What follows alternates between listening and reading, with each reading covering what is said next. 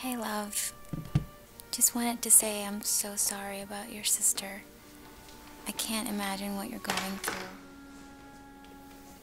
Was calling to see how you're holding up and to let you know I'm on my way over.